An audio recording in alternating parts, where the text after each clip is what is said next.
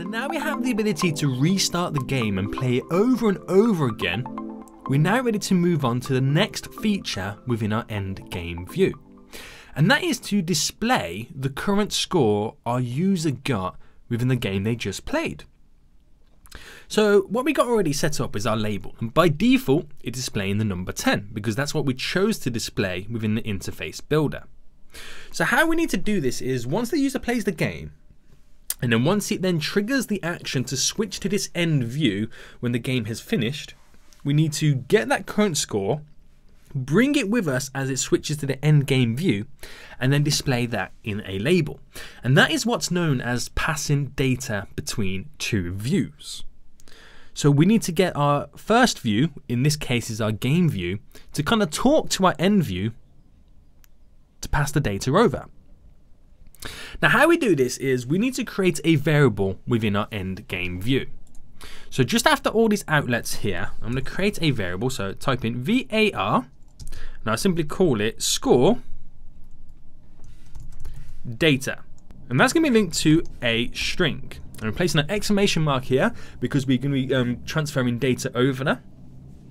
Now this variable is going to be used to store the information. And how it works is just before we switch to the endgame view, we're going to tell this variable that this is the data we want it to handle. And by data, we mean the score from our user.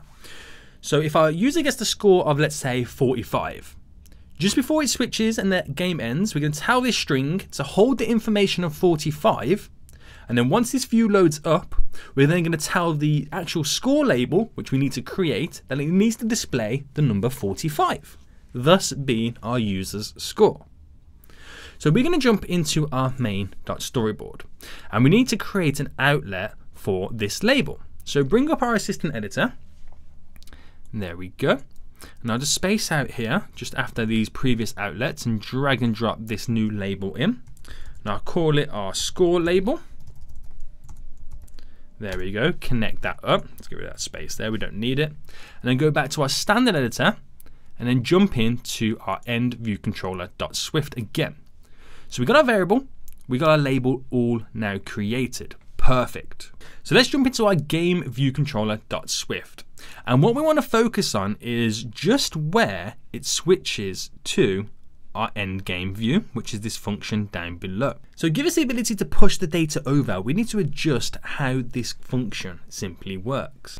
Now the great thing for us is we created a constant here of our let of our VC short for view controller and that equals our storyboard file of main which is linked to our end view controller which is perfect for us. Meaning, if I space this out now, if I reference VC the constant let that we create just up above and then do dot, we're then able to reference any of the objects within that view. So I can add in now our score data. So our score data on that view is simply going to equal our score label dot text in this view. So our score label dot text here is going to be displaying the current score from our user. And when we go to switch view, because we got this already set up, which is perfect for us, our VC short for view controller links to that class. And because it does, when we call upon, again, that variable, we can then reference any, again, variable outlet uh, within inside of that view. And we're going to equal that variable there to whatever is being displayed within our score label. So as it goes through the process of switching to the view, when this new view loads up, our end game view controller, our score data already equals the information of our user's score. All it's then left for us to do as soon as the view loads up, we're then going to simply get our score label dot text to then simply equal our score data. As simple as that. Now don't get confused with the fact that we've called both labels and both views score label Again, if we go back to our game view here, the score label that it equals and this view is the one that's um, currently displaying the score as our user increases. And in our end, game view, the score label is what's displayed at the very top of our end game view. So with that simple process there, we'll now go to build and run and we'll test it out. So as we start to go play the game, again, it'll do our countdown and then it gives us the ability to get as much score as we could possibly want. So let's go for something quite high. Let's go for, I don't know, let's see how we can go. So we got to 49 and as it switches over, it now displays 49 within our end view. How cool is that?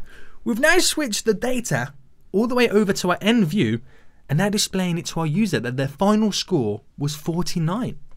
So again, back within our end game view, what that does in our home view, if I restart the game, when the function, when the game has ended and it then sets up the function to switch uh, to our end view, it's getting our VC, which is linked to our end game view, and our variable, and equaling that to our score label of 16, as you can see, transfers that over so now our score data equals it. And then when the view loads up, we make our score label equal score data, which is housing that information, and we display it to our user to tell them this was your final score.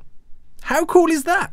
Which now leads us on to the next part within our application is when we go to restart, our high score still displays zero. So in the next coming lectures, we're going to be doing it in two parts. Is we're going to learn about how we can save the score and display it within our high score. And then we're going to learn about how we can make sure that every time we save and load the score, that we only load in the highest score that we've ever achieved within our application.